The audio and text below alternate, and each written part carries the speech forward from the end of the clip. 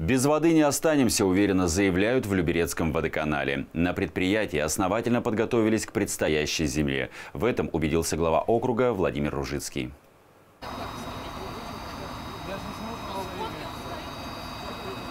Всевидящее око. Так в шутку сотрудники Люберецкого водоканала называют роботизированный комплекс для обследования канализационных сетей. Этому мини-роботу уже 4 года. Он помогает увидеть то, что находится внутри трубопроводов, куда человеку не попасть.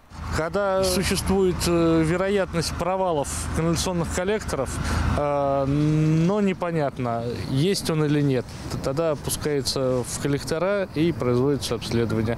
Либо для э, профилактики и диагностики выявления будущих, так сказать, аварийных ситуаций, чтобы их не допустить.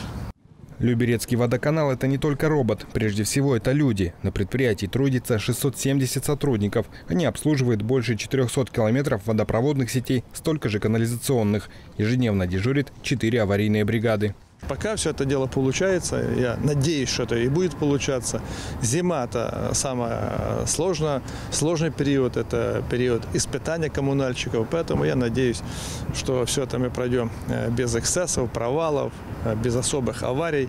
По прогнозам синоптиков, предстоящая зима в Подмосковье будет снежной, временами морозной. Водоканале уверены, работать смогут при любых погодных условиях. К зимнему сезону здесь готовы на 100%. Григорий Ворванин, Петр Пономаренко, телеканал ЛРТ.